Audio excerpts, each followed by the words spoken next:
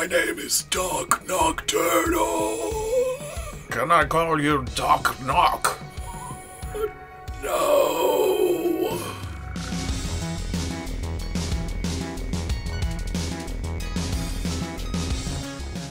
Okay, people, welcome back to another Fwoosh review. Today, let's take a look at the Mezco One:12 Collective Rumble Society Doc Nocturnal. Many thanks to Mezco who reached out and asked me if I wanted to take an early look at this, and I thought, and I definitely said, uh, yeah. Even cooler than that, I have no clue what's in here. I mean, I've seen the teases, I know the skull, the cloak, but otherwise, I don't know all the details, all the accessories. They did send a couple of pages of the comic that comes with this figure. It's very pulpy, and even though there's no text, no talking, you still get a good idea of what this character is about. Looking at the package, it's what we got with Baron Bends. You have the skull in the glossy black on the matte black, looking very, very fancy. The gold with that same skull in it, the Rumble Society. My camera keeps wanting to focus past that into the reflection of, hello, me. On the side, Rumble Society in that glossy black. The back, just matte black, some warnings, some logos, a UPC. On the other side, Ooh, so luxurious. Mmm. The top is gold, same thing for the bottom,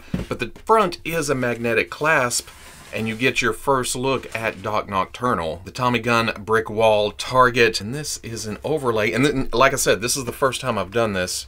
Let's see what's under here.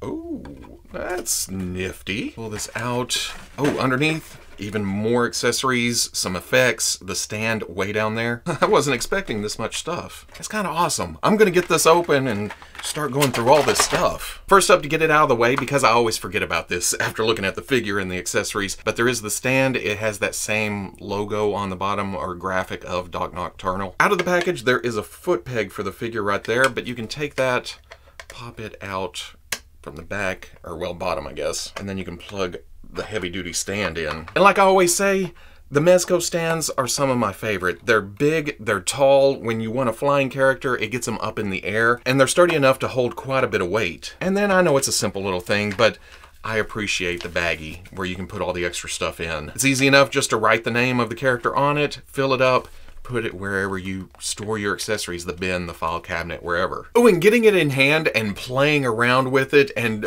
figuring out what all the little things do, it's a very interesting set. The figure, the accessories, everything together. I think I mentioned in the intro that the couple of pages they sent as samples for the 48 page comic book, it felt very pulpy, and looking at the figure itself, I have to say it again, it feels pulpy. And with Spirit Halloween popping up all over the place, October's on the way. This feels like a kind of a scrawny dude who just piecemealed his costume all together and then he goes out monster hunting at night. And you know what? There ain't nothing wrong with that. And I say scrawny guy because the limbs are a bit skinny, bit thin, but when you get up to the head, it actually feels like a skull mask, like there's a head under it, and then, you know, it's just something picked off the shelf. It is a full skull under this hood, and I'm not sure if this skull is reuse. I think it is, but it's a nice skull sculpt. That's hard to say really fast. And on top of that, the bone wash to it, it makes it feel realistic. But looking into the eyes, the nose,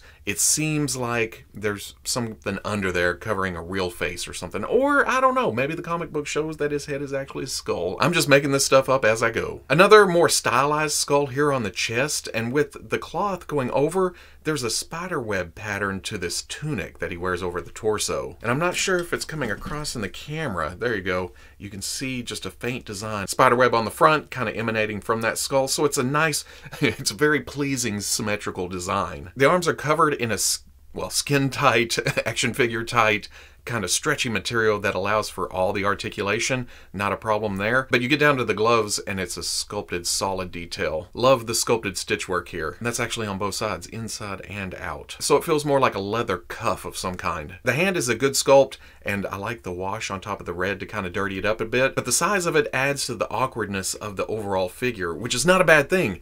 I feel like this character, and again, we'll find out more later, but to me, it's supposed to feel a little bit awkward, a little off-putting. The legs, again, covered in that stretchy material. There are two red stripes running down the side. And then at the boots, we see matching details that we saw at the gloves up here. Stitch work running down the outside, also on the inside. Again, a slight leather look to it, and just enough shading to bring out the details. The belt is fantastic with the big buckle. Again, throwing back to that Halloween feel of it, and then pouches running all the way around. We have a couple of loops on the back. Little loop to hang his keys off of, and then a holster to hold the gun we'll talk about here in a minute. But I love that they threw the painted details in here too. The blacks, the leather look to it, the kind of metal to the buckle, and especially the little buttons on the pouches. That is one of my pet peeves when those aren't painted. But they just stick out. Very nice against the red and the black and the white of the rest of the body. On the left wrist, we get the Night Watch is what they're calling it. And they just describe it as his wrist-mounted apparatus. I feel like this is his logo and it goes around the wrist, a leather band. Awesomely enough, this does flip up to show you some kind of readout. Very science fictiony with the waves and the blue button and the silver. I haven't had a problem with it, and you know me, I get kind of gorilla handed, but it does feel a bit delicate. So I'd watch out for that when you're posing or especially swapping out the hands. The tunic does have a hood. When it's off the skull, you can kind of shove the back up under or something just to get it out of the way but it doesn't look right in the down position, which is okay because I actually like it up and over. When it comes to hoods, I usually don't care for the point sticking up here at the end of this seam, and I like some hang down or something, but at the same time, for what my brain is coming up with this character and the whole thrown together look, I, I, like this. It kind of adds to that overall head size. It's a bit jarring, I guess. Again, awkward a bit, but I don't mind it here because I feel like it's part of the personality. For articulation, there is a hinge at the jaw so you can open and close the mouth.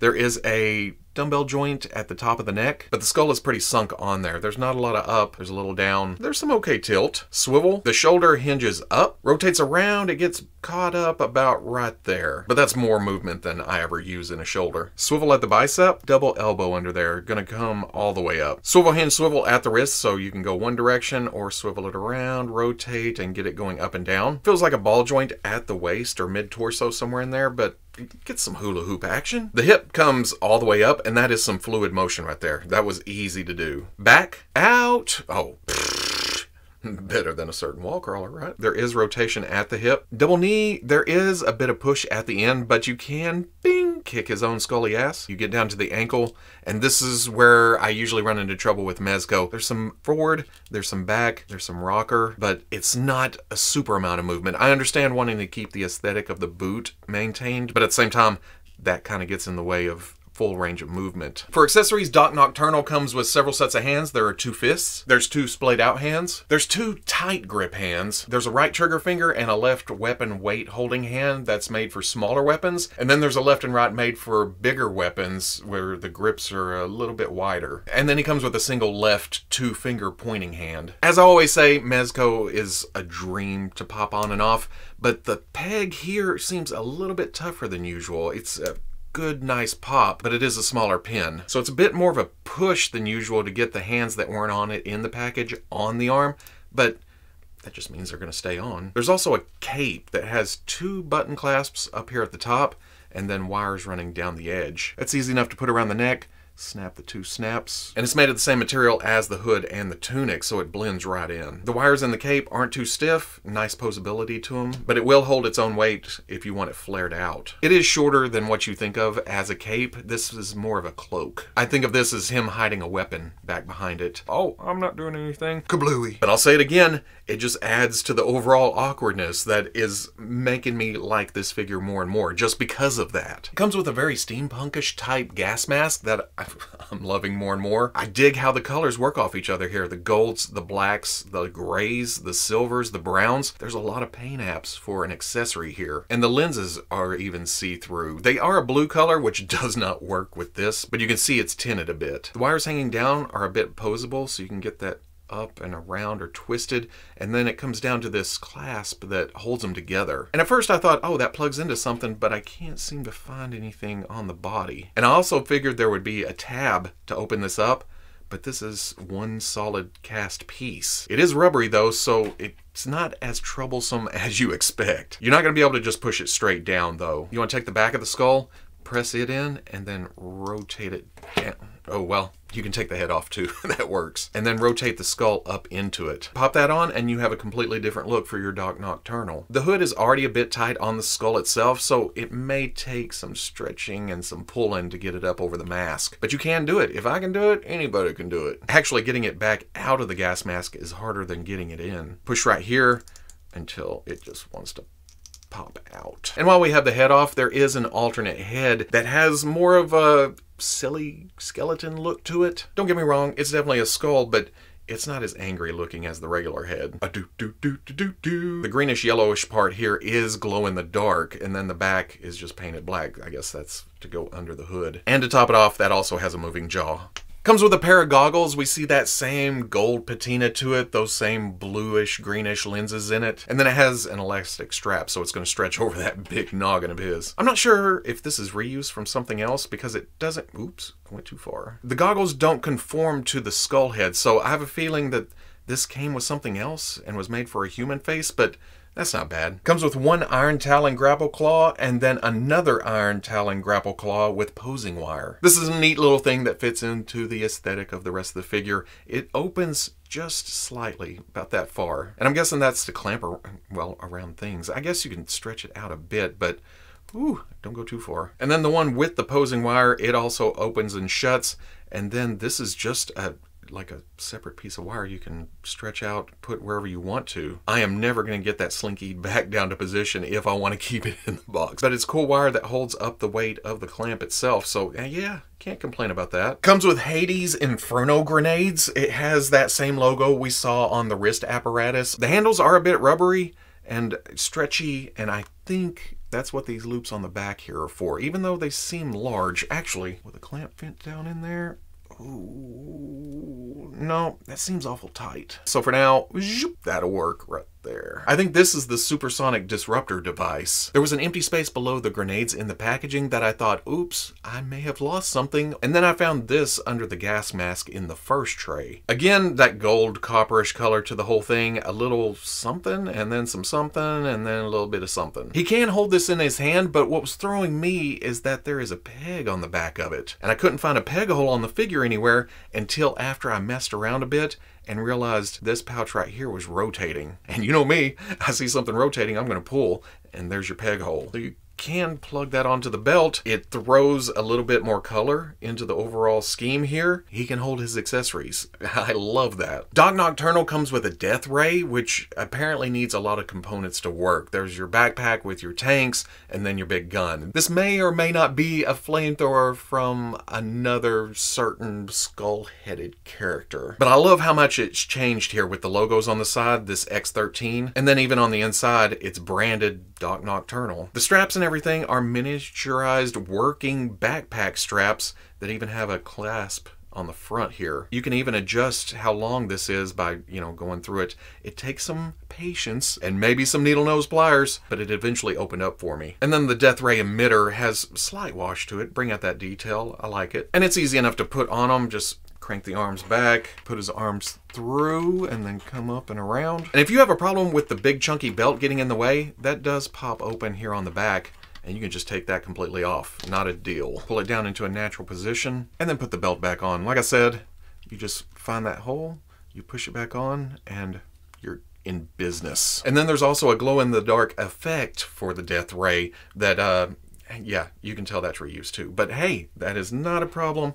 It just goes straight onto there and it looks good. You match that up with the glow-in-the-dark head, you have a nice little display for when you turn off the lights. Comes with the Ferryman handgun, which is very clever. You want to send a monster to hell? This is how you do it. Again, has that kind of skull logo look on the side. Futuristic, but pulpish but steampunkish. Yeah, it just takes all those elements, shoves them into a spirit Halloween body, and you're off to the races. Fits into the hand beautifully, but this holster flap on the side also opens. It's a stiff plastic, stiffer than I care for, but you get the gun down in there, you bring it down, and the stiffness does help you close that clasp easily, but it does tend to stick out when you have the belt down a bit.